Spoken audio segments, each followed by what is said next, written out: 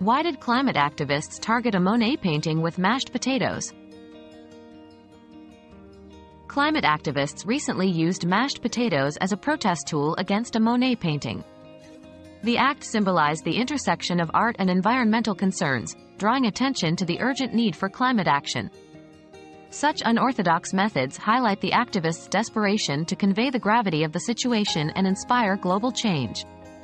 While some argue that damaging art isn't the right approach, others believe it successfully amplifies the climate message.